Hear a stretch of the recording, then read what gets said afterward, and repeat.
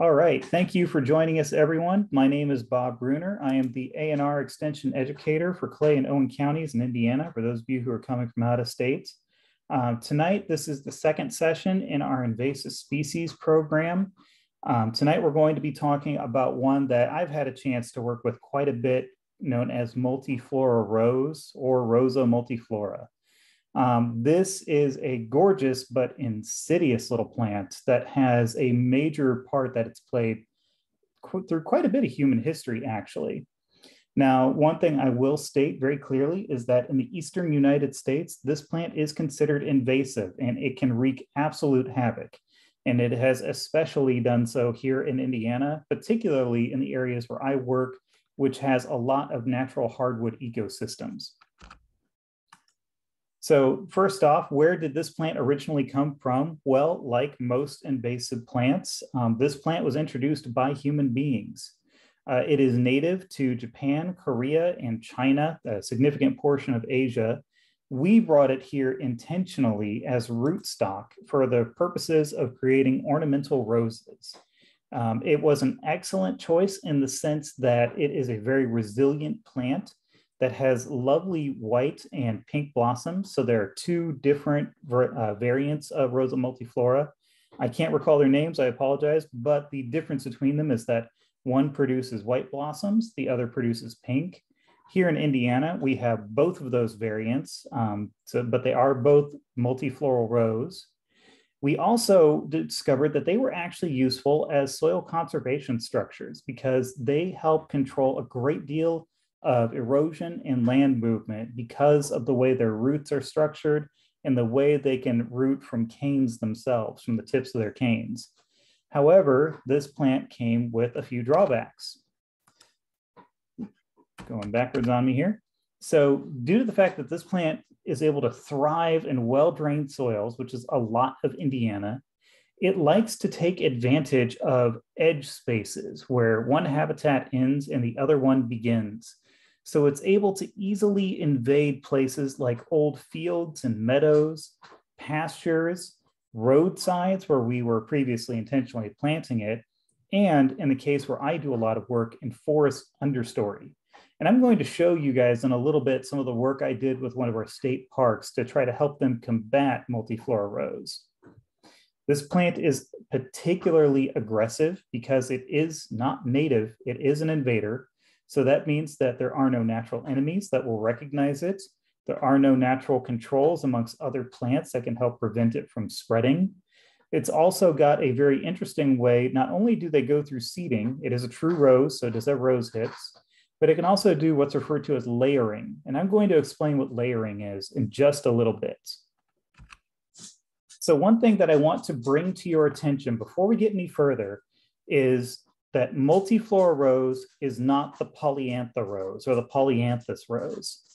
Polyantha roses came from a cross between Rosa multiflora and Rosa chinensis. This is an ornamental. It does not have the more unpleasant traits of its ancestor. So it doesn't spread uncontrollably. It doesn't invade other ecosystems. It's just a nice ornamental that's particularly bushy and particularly resilient. There's actually a picture of a polyantha rose in the background of this image. Um, polyantha roses are actually the basis of a lot of our modern roses. This one, polyantha roses, were created in 1866. This is what we use that multiflora rose rootstock for.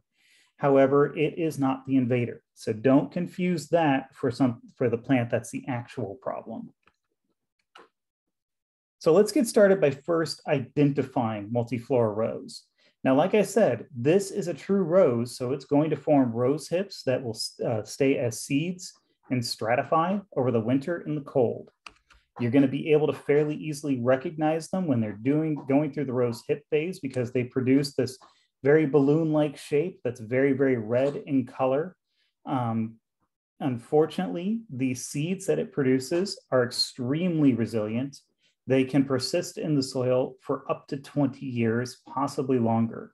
So that means that if you have a multiflora rose problem and you allow it to go to its seeding phase and it gets into the ground, you're going to continue to have a multiflora rose problem. Um, I'm going to go over this in a little while, but I'm just going to state right now that combating multiflora rose is going to be a multi-year project for you. And there's just, there's simply nothing you can do about that. So it's best to identify when this plant has invaded and get to it early before it seeds. Now, Ronald, I see you asking, is it in the rugosa family? I believe it is not, but I want to double check that. I was reading on it earlier and I know the answer to that question, but I want to look it back up again so I can tell you correctly. Um, so I'm going to move on from that though, and I want to talk a little bit about the canes of multiflora rose. Now the canes represent a really, really serious problem. This is where things can get really, really nasty with the multiflora rose. This image is actually kind of showing you some of that story. What you see here is that this rose bush is twining around a now dead tree. It's probably going to continue twining around other plants. You can see some of it in the background. The canes are one of its strongest attributes. These things can get up to six to 13 feet. I've actually seen them longer than that, in fact. Um, and when the tips are green and they come in contact with the soil, they will go through what's referred to as layering, where those tips will now begin to put in roots into the soil and become a brand new rose plant. This is why when you are working with multiflora rose, you are not just facing a single rose plant, you're facing this dense, thick, impossible mass of briar that you now have to go through. All of these canes are covered in extremely sharp thorns. And many of us who have done conservation work or have had to remove this have had our experiences with multiflora rose thorns. Um, and I've gotten stuck by plenty of thorns in my time, and I will definitely tell you multiflora rose is the worst. The canes are everywhere. They're just messed up with each other, all kinds of crazy formations of them. It's a, if you put your hand in it, you're going to come out with some cuts on yourself. Yeah, it, I see what you're saying there, Nicole. And it's it is just one of the trials we have to deal with. Uh, a few weeks ago, I was teaching a class at McCormick's Creek near one of the unfortunate infestations of multiflora rose, and I had to warn the students I was teaching to watch where they walked because if they were not watching, they were going to walk directly into one of the briars, and it was just going to shred their clothing, their coats, everything. So like I said, this layering can cause these thick briars that can cover a significant area. And by the way, they're not weak. These don't snap off in your hand. They're not going to be super dry. These are extremely strong. They're usually green for a long time, even after other plants have gone dormant. So that means that they're able to bounce back from a lot of damage much later into the year. And they create this near impassable barrier, meaning that you're going to need equipment often to simply just remove chunks of it. Okay, a little bit now on our blooms. Um, there's only so much you can say about multiflora rose blooms. They are just like other roses. Um, they will bloom according to the time of year. They typically will bloom earlier. They will green up earlier as well. I'm going to talk about that momentarily. And they're going to produce these really quite lovely white or pink blooms that are very showy they're very easily noticed. So during certain times of the year, if you look in the forest understory, you're going to know where the roses are. Um, this is why they made such a good option for rootstock to create the polyantha rose because they're so resilient. Their blooms are very obvious. They are very, very true. And they have, honestly, they are quite fragrant depending on where you are. Um, and they have good size too. They're not real super tiny. So they kind of made this perfect storm of something we wanted to use, but unfortunately, we didn't think through the process quite far enough. So let's talk a little bit about our leaves. This is what I want all of you to use as the primary way to identify multiflora rose. The leaves are always going to be very, very consistent. They're going to leaf out much earlier in the spring.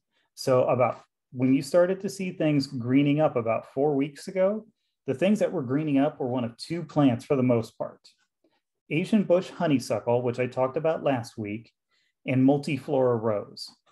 Um, I actually worked with McCormick's Creek, and I'm going to show you a little bit of this in the future or in the near future. And I took a lot of drone imagery to track their multiflora rose, and I was able to do so because I did it at the right time of year before anything else greened out. Now here it says the leaves are pinnate with a toothed edge and they're alternate. Let me go back to the previous image. Now, if you look here, it looks like the leaves are actually opposite, not alternate. Well, that goes back to that pinnate word right there. What you're seeing here, this little sprig of leaves, that's actually one leaf, and the green parts are leaflets that are positioned opposite each other. But if you look at the main cane on the plant, you can see that these leaves with leaflets are springing out at an alternate pattern from each other. That's what pinnate is going to mean. So keep that in mind. They are alternate, even though they don't look like it. The leaflets are also always going to be toothed, which you can see very, very clearly in this image. And they're going to green up just before anything else will. One good thing about multiflora rose, it's also subject to all the same pests and diseases that ornamental rose are too. So you'll, I'm going to show you, I believe, in a little bit an example of that. All right, so getting to some of the work that I did with McCormick's Creek that I keep referring back to. Um, multiflora rose can have an incredibly negative impact on hardwood ecosystems. Our state parks constantly are in combat with them. Uh, the image you're looking at right here is one that I took from my drone. I'm a drone pilot. I, I fly a uh, Phantom 4 Pro, and I used mine to map out the multiflora rose infestation near a nature preserve referred to as Wolf Cave in McCormick's Creek State Park. I'm not able to fly over the nature preserve because of federal law, but I was able to fly outside of it so we could map out the plants. And it was really convenient because they hadn't entered the nature preserve yet. So we took our time going over the landscape to see what was greening up. Essentially, if it's not a tree and it's green, it's multiflora rose in this picture. We had to ground truth it and we, we double checked. The drone was very accurate. Um, what's going on with McCormick's Creek is they are trying to make triage decisions when it comes to what patches of the roses that they're going to eliminate. By mapping them out, they can make decisions on which ones they'll be able to effectively use their time with and which ones honestly won't be worth the time. Unfortunately, this rose is doing exactly what I described it doing. It's choking out a lot of the native tree development, taking advantage of areas where there are nice, beautiful glades opened up and there's sunlight coming through.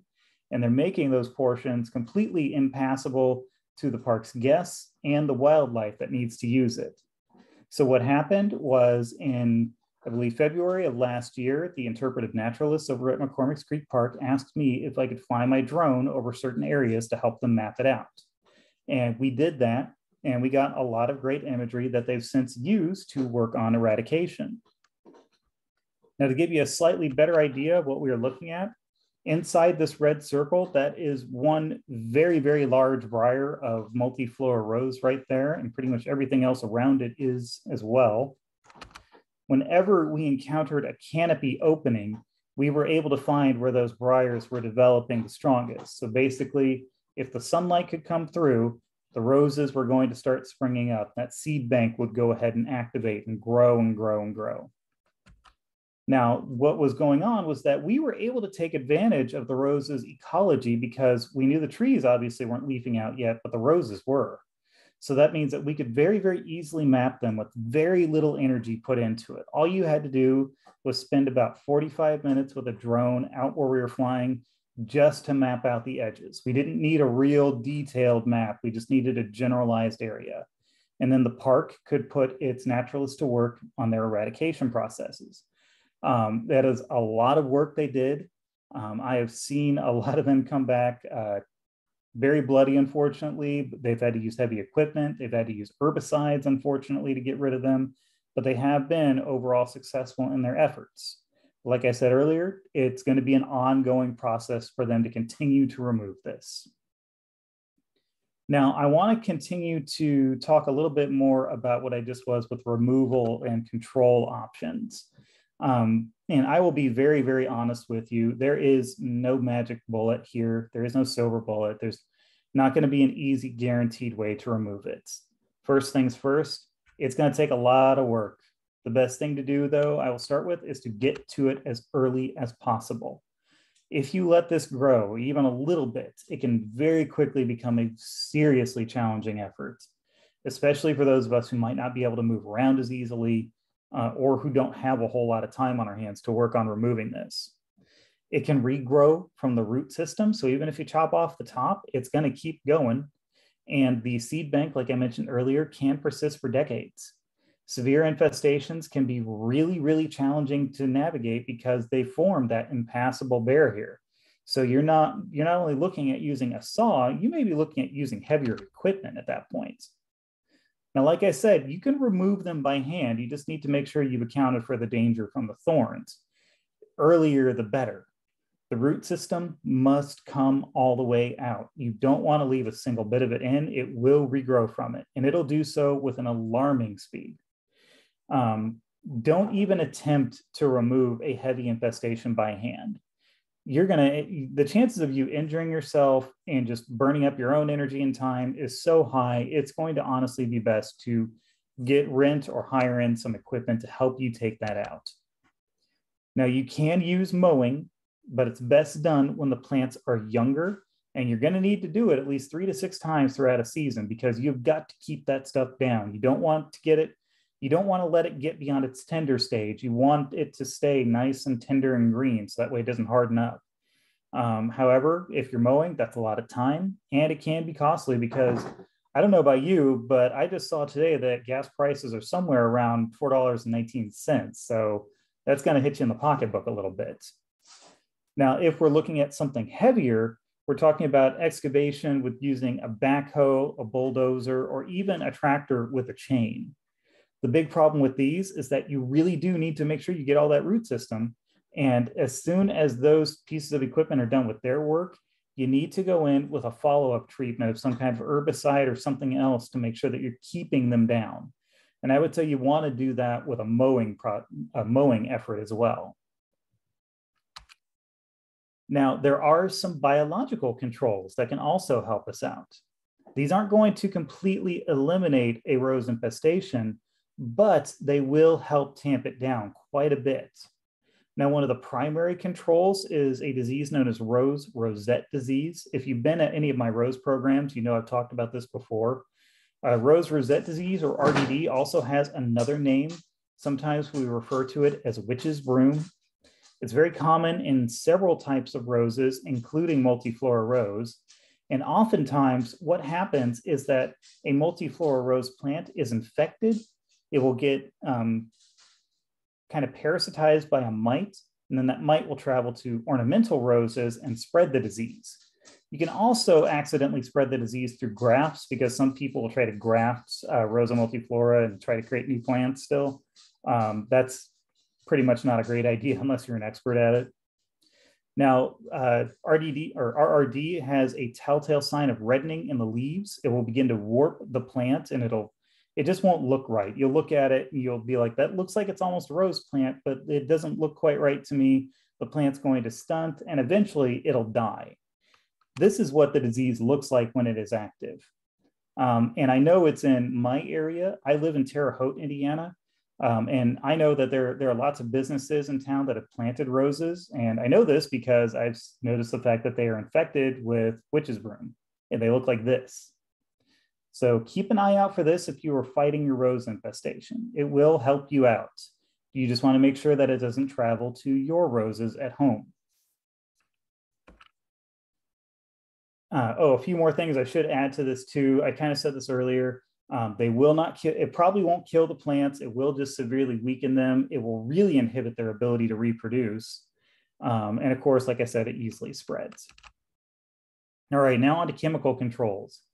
Um, these plants can respond to things like glyphosate, triclopyr, metsulfuron, methyl, and a few other chemicals. I believe dicamba is also in there. Um, before you consider any application, what I want you all to do is to first you need to go in and damage those plants. Damage them by cutting them, mowing them, whatever. So that way you are inducing a stress reaction in the plant and they will not be able to handle the uh, chemical application nearly as well. This will also reduce your surface area to treat if you're going to do some kind of foliar treatment. So you're just making your future work easier on yourself. But just like how I described with our Asian bush honeysuckle last week, your application timing is going to be very, very important. So let's talk a little bit about that for a moment. So foliar treatments, you can do them anytime during the growing season, but you do need to keep in mind that those foliar treatments will affect other plants nearby. You can do misting and you can do spraying, but you really need to watch what else is in the area. Now, there is some good news about that though. Oftentimes, when there's a severe multiflora rose infestation, there isn't much else growing near them. They choke things out. But we do want to keep our eyes open for that. Our cut stump, cut stem, and basal bark treatments can be done anytime, but there are ideal times of year when you can do them. And then some treatments may have different timing based on the medium that you're using to transport that active ingredient, i.e., are you using water or oil? Now, if you were with us last week, you may have heard me talk about using a water-based uh, carrier, which means like if you cut the multiflora rose, you need to immediately treat it with a water-based herbicide so that way the plant uptakes it. Or if you're using an oil-based carrier, then you can cut the plant and wait a little bit and then put the oil, paint the oil treatment on there because it'll just seep into the plant no matter what, it'll stay there. Key things though about that, if you do either of those treatments, you need to make sure you don't have runoff. Be very careful when you paint them on. The water one usually isn't too big of a danger, but the oil one can very easily run off. So keep that in mind if you're using either of those mediums. Now, I showed uh, people this last week, for those of you who were there, for those of you who weren't. Um, this is actually, this is, was created by SICIM. They are now the uh, State of Indiana Cooperative Invasive Management Organization, uh, not the Southern Indiana one. They've since changed their name. SICIM does a lot of great work in combating invasive species, and they created this calendar of control recommendations. And when I post the recording to this, I will make sure there is a link to this calendar, and I will see if I can get the PDF to send to all of you as well. Now, what I'm showing you here is when you can do treatments of a variety of plants, and I'm going to highlight the parts that include multiflora rose. Now, you may note that this is the same treatment schedule you can use for Asian bush honeysuckle, which makes it pretty convenient. So if you have more than one plant that is causing you a problem that's in this same group, well, good news, you can do all your treatment efforts at one time. Now, one thing to highlight here, let's talk about our foliar spray. It is highlighting that it can be done May through September. Now, the main reasons for that are that's when you're going to have the best leafing out and it's not going to be continuing to grow out new leaves as rapidly. Early March and April, that's when most of the leaves are going to get put on. So by waiting until May, you're getting past that point, you can go ahead and do your foliar treatments. You've already got all the leaves there. Uh, cut surface treatment can be extremely effective from June through March.